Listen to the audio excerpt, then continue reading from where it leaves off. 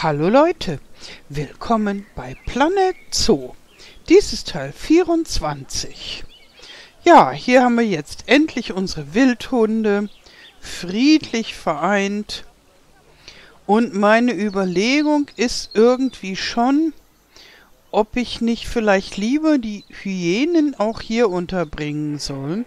Denn ich denke mal, dass das zwar im Spiel wohl nichts ausmacht, wenn Raubhunde neben Gazellen ähm, das Gehege haben. Aber in echt würde das die wahrscheinlich schon irritieren. Die Raubtiere wären immer zu in Raubstimmung und die, äh, die Antilopen und Gazellen wären wohl immer zu verängstigt, wenn sie den anderen so dicht riechen könnten. Und nun ist dieses Gehege hier halt ein bisschen zu klein. Das hat 1124. Und jetzt habe ich hier geguckt bei den, das sind die Niala, ja, die brauchen nur ein kleines Gehege. Was ich erstaunlich finde, weil die wollen ja auch rennen. Aber ich wollte jetzt hier nach Tüpfelhyänen gucken. Ähm, die brauchen 1162 für ein Tier. Das heißt, dieses Gehege da, das andere, ist nur ein bisschen zu klein. Und jetzt gucke ich nochmal, wenn eine zweite dazu kommt, die wollen natürlich auch zu mehreren sein, also zwei bis vier, äh, dann brauchen sie ein bisschen mehr Platz. Und wo ist der afrikanische Wildhund? Ich schätze mal bei A. So, die wollen auch 1062. Also ist im Prinzip praktisch das gleiche pro ein Tier. Die sind aber gerne zu mehreren.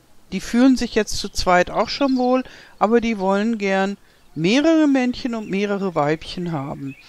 Und ich denke mal, ich lasse die mal Babys kriegen und danach setze ich sie dann auf Verhütung.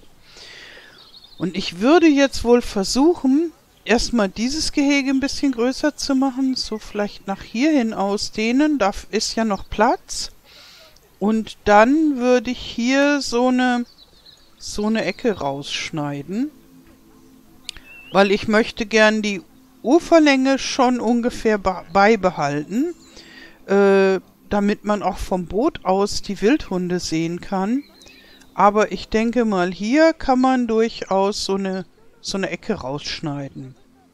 Und dann ist das für die immer noch mehr als groß genug und würde auch für die Tüpfelhyänen reichen. Und dann haben wir die kleinen Raubtiere beisammen. Ja, das mache ich jetzt gerade mal. Dann muss ich hier natürlich auch Felsen hinpacken.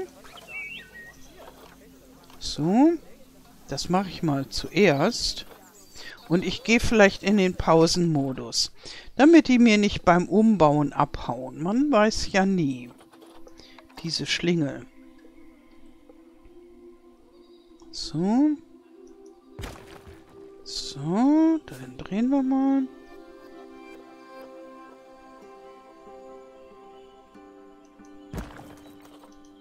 So.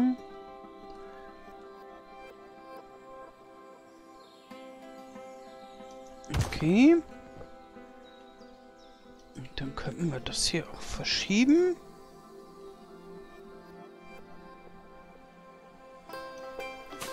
So.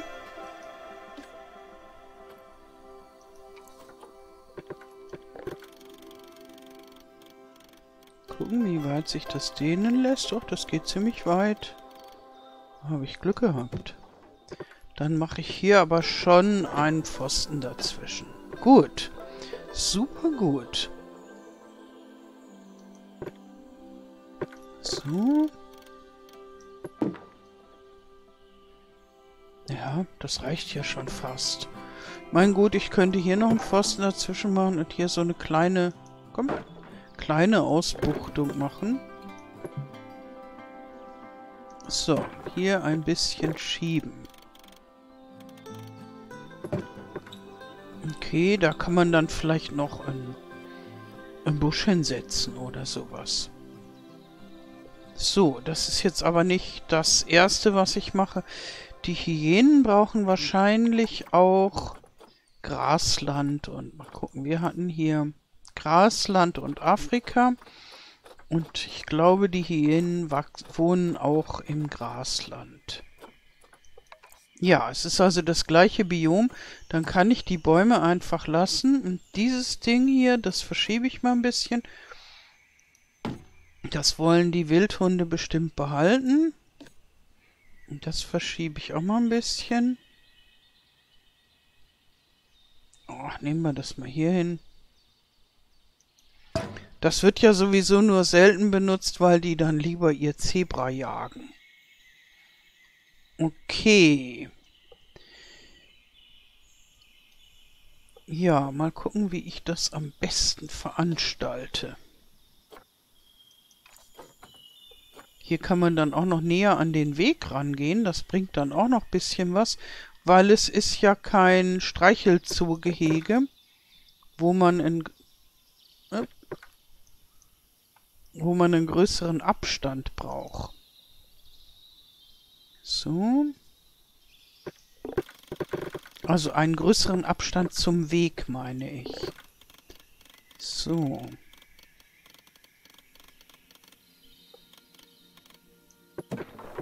Okay. Da hat doch schon einiges geklappt. Ja. Es ist jetzt so... Mir war bewusst, dass die Bäume dann ins andere Gehege kommen, aber das macht nichts. Die kann ich, ich kann ja hier dann einfach noch neue reinsetzen. Ich denke mal, jetzt fange ich an, die, die Pfosten einzeln zu versetzen, damit es ein bisschen organischer aussieht. So.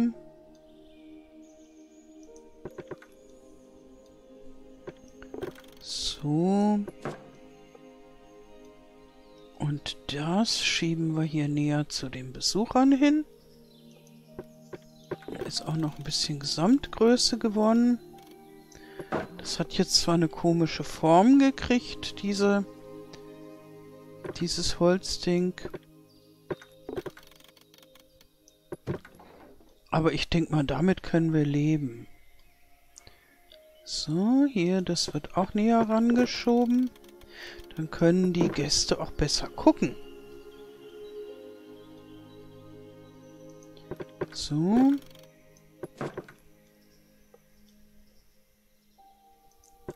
So. Jawohl.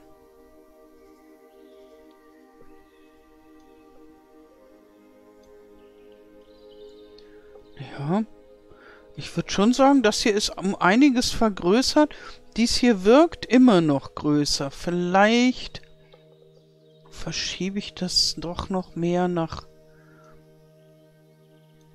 Also, dass ich hier noch so eine Ecke mache, weil mir scheint das hier doch noch deutlich größer. Gucken, was sich so machen lässt. Na komm. Ah. Hm. Barriere bearbeiten. Hier. Das da will ich. Jawohl. So. Okay. Dann muss ich hier wo eins zwischensetzen. Okay. Und hier ist jetzt der Baum im Weg.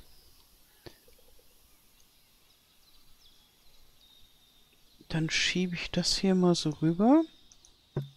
Na komm.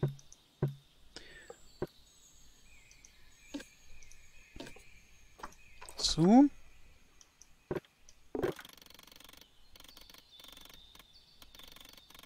So.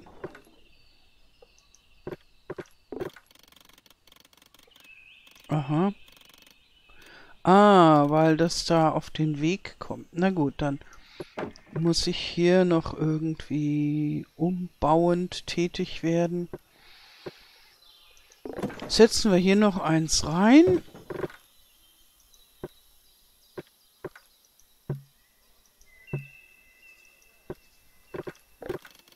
Da müsste das gehen, jawohl. Und Jetzt hat es hier noch mehr komische Formen gekriegt. Dann setze ich hier auch einfach eins dazwischen. Dann kann ich da noch besser anfassen. So.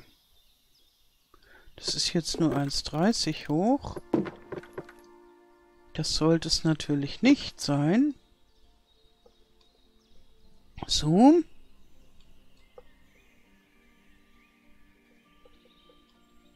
Ja. Es ist jetzt zwar nicht optimal, aber ich denke mal. So. Okay, dann gucke ich mal, wie groß das jetzt ist. 1452. Gut, da müssten dann auch mindestens zwei Tiere gut reinpassen. Vermute ich mal. Und das ist immer noch 1700. Okay, ich hätte da also im Prinzip noch mehr rausschneiden können. Hm. Ich verschieb den mal. Könnte man ja schon machen. Einfach das hier noch... Wenigstens noch so eine Ecke. Das mache ich gerade mal. Ja, jetzt ist es noch etwas gerechter verteilt. Hier haben wir jetzt 1556 und hier haben wir 1668. Und da die Wildhunde ja vielleicht noch einen Satz Kinder kriegen, obwohl die Hyänen sind auch gern zu viert. Aber ich denke mal, so kann man das nehmen. So, dann stellen wir hier so einen Baum hin. Und hier auch. So.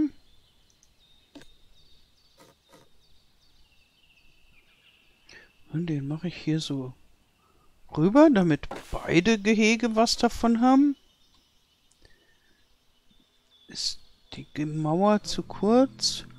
Äh, zu niedrig? Ne, werden wir sehen. Das kriegen wir ja gemeldet. Und es sieht natürlich komisch aus, aber das kann ja durchaus sein, wenn der Zaun nicht sehr tief geht, dass der dann äh, darunter durchwurzelt und auf beiden Seiten äh, wuchert. Das ist so meine Idee. So. Ja, ich denke mal, bepflanzen tue ich das später.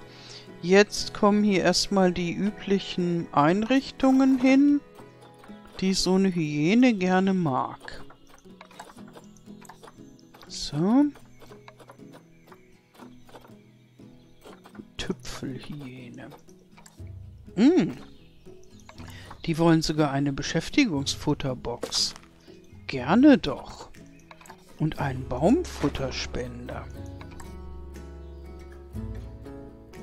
Ah, ich habe mal bei Wikipedia gelesen über die Hyänen und wie, wie, wie, wie. Jetzt habe ich auch den kleinen Panda gewählt gehabt. Die Tüpfelhyänen wollen keine Futterbox. Und auch diesen Baum wollen die nicht. N nun gut. Dann halt nicht.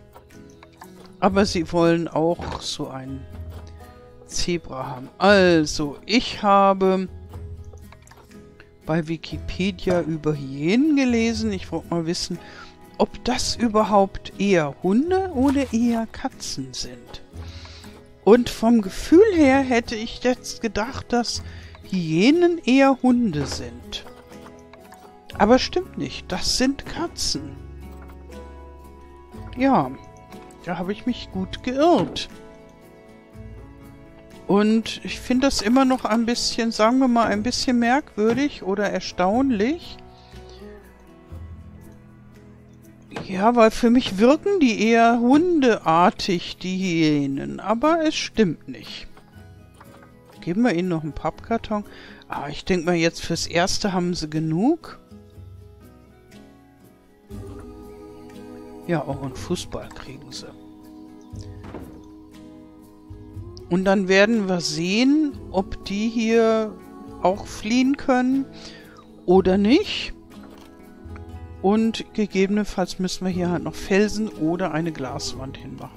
Jetzt kaufen wir mal Hyänen. so.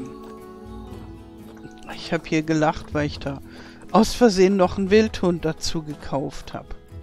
Naja, im Sandbox-Modus macht es ja überhaupt nichts aus. Und selbst im Franchise-Modus, ja, dann hätte ich es halt gemacht, so ungefähr. Sechs Jahre, ja, das geht. Die sterben ja hier sowieso nicht an Altersschwäche. Dann nehmen wir den und sie und senden sie gleich mal an den Zoo und so ihn auch. Und dann schauen wir mal, was die noch für Detailbedürfnisse haben.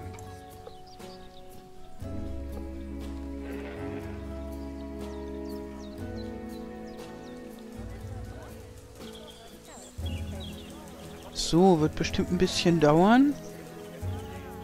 Weil das nächste Handelszentrum ist, glaube ich, eine Ecke weit weg. Ich wollte ja hier irgendwo auf die Insel noch ein Handelszentrum bauen, aber so weit bin ich halt noch nicht. Oder habe ich hier eins gemacht? Nee, das sind nur Wassergebäude, glaube ich.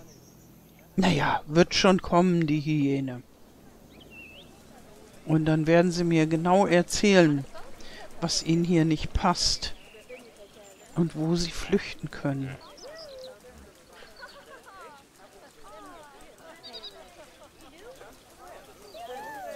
Da kommt jemand.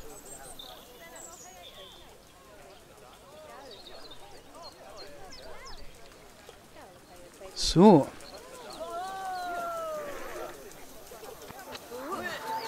Jawohl. Zack, zack. Und jetzt gucken wir mal.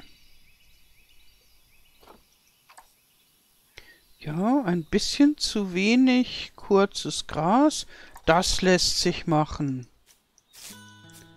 So, wunderbar. Ja, prima. Ein bisschen mehr Erde könnte man machen. Dann sollte ich aber noch mehr kurzes Gras haben. Aber kann man ja erstmal so lassen. Die Größe ist jetzt gerade gut. Also es ist mal anders als sonst, wo ich immer die drei- bis zehnfache Gehegegröße habe. Das ist, reicht jetzt gerade. Womöglich, wenn die Kinder kriegen, wird es dann sogar ein bisschen eng. Aber dann bleiben sie halt zu zweit. Die Bepflanzung, da sind sie auch schon zufrieden mit. Aber ein paar Pflänzchen könnte man noch machen. Aber erstmal muss ich gucken, ob sie flüchten können. Jawohl. Da, fröhliche Fluchtgefahr. Und sie können auch da flüchten, wo ich Felsen habe. Tja, das bedeutet dann leider, dass ich da eine Glaswand machen muss. So, Barriere bearbeiten. Schade, schade. So. Okay. Und die ziehe ich dann aber ans Land. So weit wie möglich. Huch.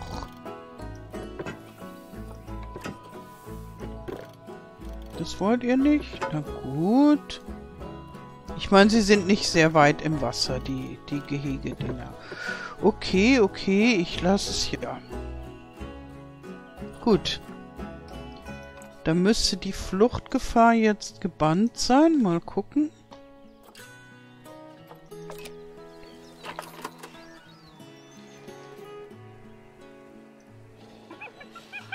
Jawohl, na prima. Dann können wir uns ja mal um die Hyänen kümmern. Ach, gefährlich.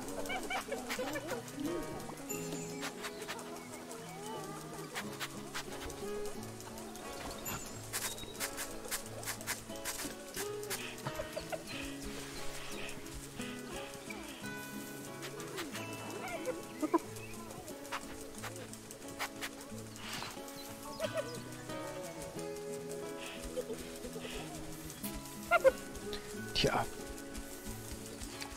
Ich weiß nicht so recht, ob das jetzt wegen des allgemeinen Images ist, dass die Hyänen halt so haben und wo, wo man, man, also auch ich, mit aufgewachsen ist mit diesem, oh, die Hyänen sind unangenehme, unfreundliche Tiere oder so. Ähm, oder ob die wirklich so irgendwie ein bisschen unsympathisch daherkommen.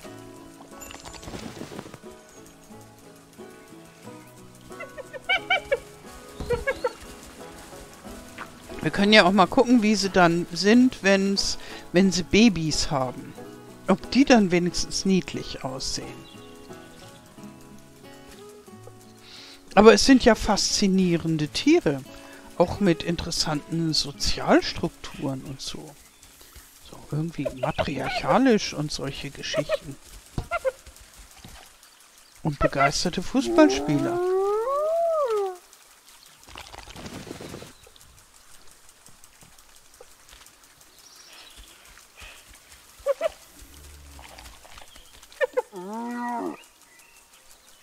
Naja. Den geht's ganz gut. Jetzt bestelle ich mal das beste Futter für sie. Das können wir uns hier ja leisten. So, sollte ich auch mal bei den Wildhunden einstellen. Aber jetzt gucken wir hier erst nochmal nach den Hyänen.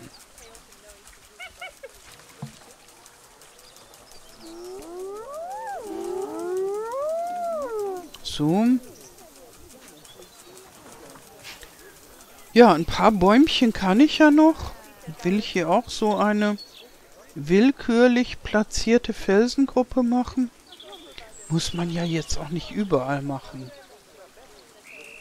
Sonst werden die Gehege auch zu sehr ein Abklatsch voneinander.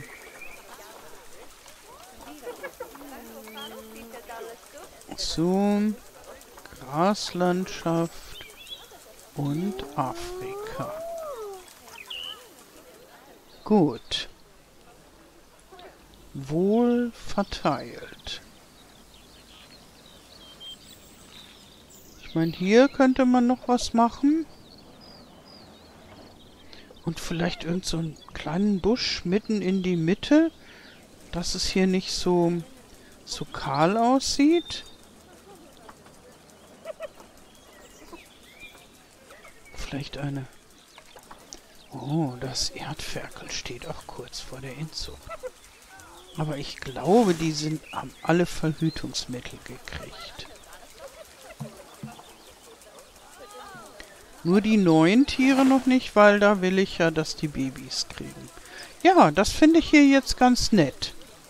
Weil das das Ganze so ein bisschen auflockert. Und hier hinten noch eine Hagendorn-Akazie.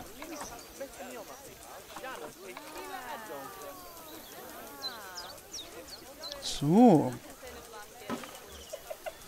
Sehr schön.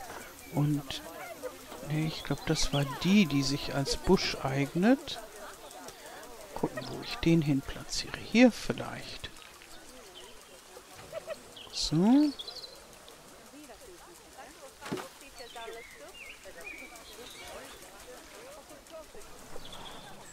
So. Ein bisschen Platz haben wir noch. Dann mache ich hier vielleicht so ein Rohrschilf bei der Hütte. Das fördert auch deren Privatsphäre.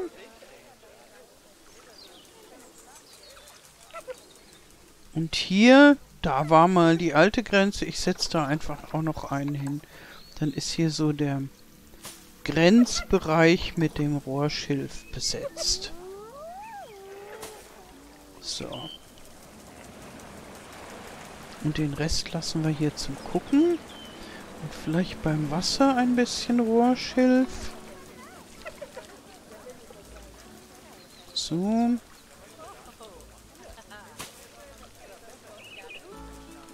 Ja, noch ein bisschen geht. Vielleicht hier innen ein paar Blümchen an den Rand.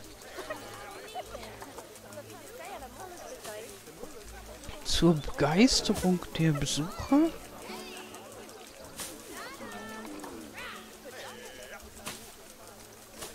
So. Und...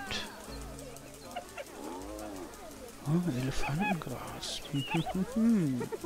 Vielleicht mal hier ein Papyrus.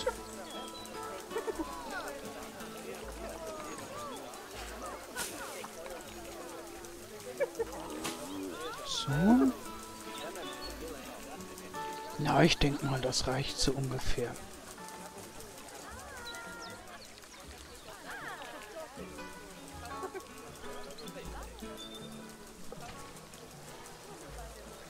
Ja, dann können die hier schön rennen.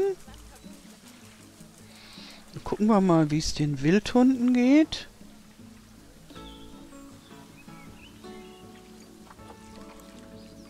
Ja, das Gelände reicht ihnen immer noch, aber es ist nicht viel Luft. Mal gucken, ob man da noch Babys unterkriegt. Im Zweifelsfall, wenn die sich dann mit den Babys schon überfüllt fühlen, dann kann man die ja, sobald die herangewachsen sind, verkaufen und dann bleiben die zu zweit. Oder mache ich die gleich, weil es ist jetzt wirklich nicht viel, was sie mehr haben. Tja, 1300 brauchen sie und 1162 waren zwei. Das sieht so klein aus. Oh, die haben schon Babys. Okay, dann werde ich auf jeden Fall die Alten auf Empfängnisverhütung setzen. Ja. Ja, ich meine, dann ist ja klar, wenn die schon Babys haben, das ging aber echt zackig bei denen. Wie süß meine, die sehen auch nicht sehr sympathisch aus, aber so die Babys sind schon niedlich. Oh, hier hängt das Haus in die Luft. Ähm, aber das scheint sie nicht zu stören.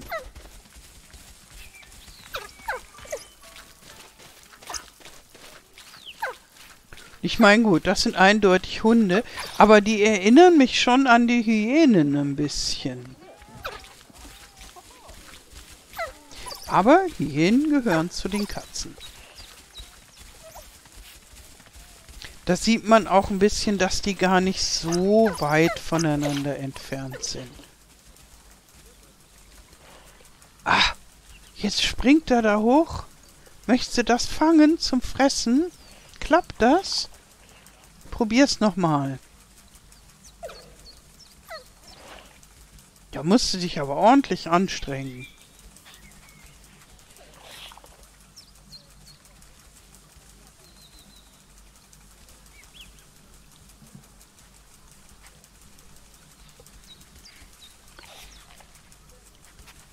Es hat geklappt. Na super. Vielleicht schiebe ich da unter die Hütte einen kleinen Felsen. Weil das ist, glaube ich, präziser, als wenn ich hier jetzt die Erde aufhäufe. So. So. Und zwar nehmen wir diesen Felsen. einen kleinen Felsen, ja. So ist es wenn ich einen kleinen Felsen drunter schieben will. So. Ich gehe mal hier in diesen Feineinstellungsmodus, damit ich das auch drehen kann, um zu gucken. Okay. Tja. Das hier wäre jetzt schon passend. Wir müssen dann aber noch mehr hin. Ähm, wie, wie groß ist der? Hm.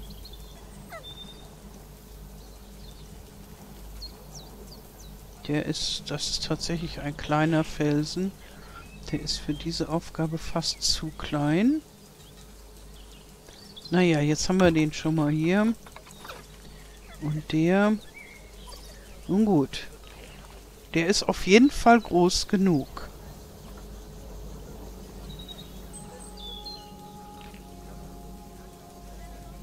So.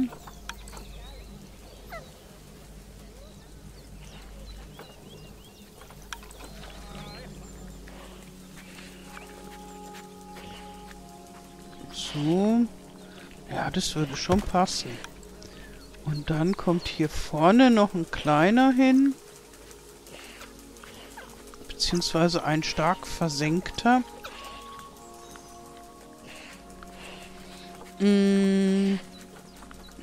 Ich hier so einen.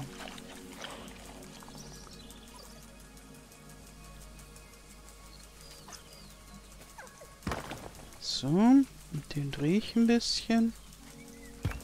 So. Und steht die Hütte halbwegs ordentlich. So. Ich nehme mal an, die haben zwei Babys. Nein, die haben nur ein Baby gekriegt. Okay.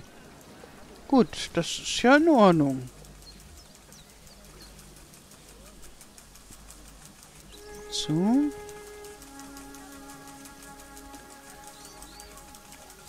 Wie schnell der gealtert ist.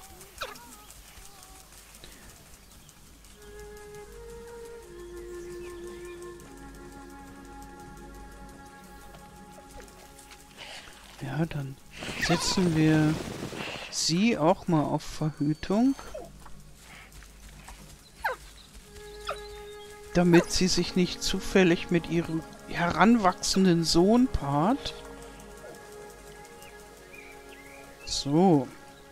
Und dann gucken wir nochmal, wie sich die Hyänen eingelebt haben. Nun, die ziehen da miteinander rum. Lustige Geräusche machen die immer. Ah, es gibt Babys. Und zwar im Juni.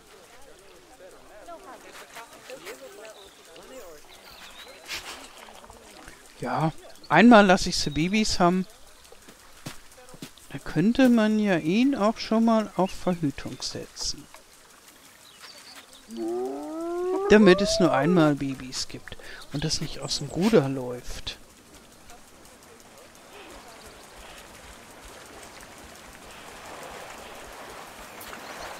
Jo. Die gehen immer so lustig geduckt. Jetzt gucke ich vielleicht auch noch mal nach den Flamingos, wie es denen so inzwischen geht. Die habe ich ja munter vermehren lassen, damit es viele gibt. Ja, ich denke mal, da ist noch Luft nach oben. Mal gucken. Die mögen ja bis zu 500 Artgenossen. Ja, 30 sind es jetzt. Oh. Da, wie fleißig sie futtern. Und es gibt ja hier mehrere solche. Ja, wäre vielleicht auch noch Platz für noch ein drittes. Gut, was macht die Gehegegröße? Ah, die stabilen Rückzugsorte. Das wird jetzt knapp. Okay. Und das Gehege ist aber noch mehr als groß genug. So. Dabei haben die schon so viel. Ja, ich kann euch doch nicht euer ganzes Gehege voll mit, äh, mit Rückzugsorten bauen. Leute, Leute. Ja, da könnte ich noch eins hinstellen. Hm. Das sähe dann aber doof aus. Da müsste man dann irgendwie was Natürlicheres machen.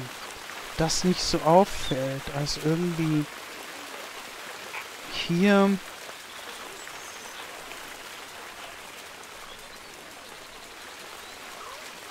Hm.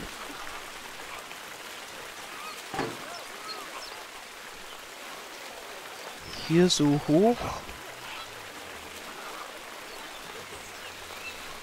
Aber wenn ich dann jetzt was mit Holz mache, das ist dann auch ein Stilbruch.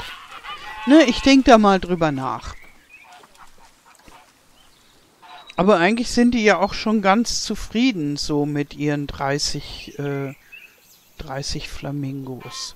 Vielleicht setze ich die jetzt auch auf Verhütung. Und sie sind ja immer noch halbwegs zufrieden, auch wenn ihnen äh, der Rückzugsplatz nicht ganz ausreicht. Aber sie sind hier auf 83 Prozent. Und die Futterbeschäftigung Das reicht ihnen auch nicht aus. Uiuiui. Ja, dann werden es schon langsam zu viel. Dann gucke ich hier nochmal, ob ich da einfach was ändern kann. Und auf jeden Fall werden die jetzt auf Verhütung gesetzt. So. Ähm, Lebensqualität, Futter. Gibt's nur dieses Ding. Na gut. Dann stelle ich ihn hier noch irgendwie so eins hin. Passt überall nicht. Fünf. Ins Wasser? Im Wasser hätte das gern? Nee, geht ja gar nicht. Und hier, da steht vielleicht hier dieses Spiegelmobile im Weg. Na komm. Was ich gerade verschoben habe. Und hier die Kräuterwitterungsmarkierung. So. Ja, jetzt passt's. Okay.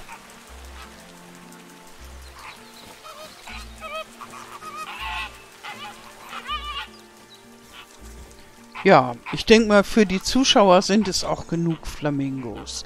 Platzmäßig wird noch mehr reinpassen, aber es bringt ja auch nichts, wenn dann der, die Hälfte des Platzes überdacht ist. Da frage ich mich schon, warum die so viel Unterschlupf brauchen. Nun gut. Ja, ich denke, ich mache mal Schluss mit dieser Folge. Ich wünsche euch noch einen wunderschönen Tag. Vielen Dank fürs Zuschauen und alles Gute. Bis zum nächsten Mal. Tschüss.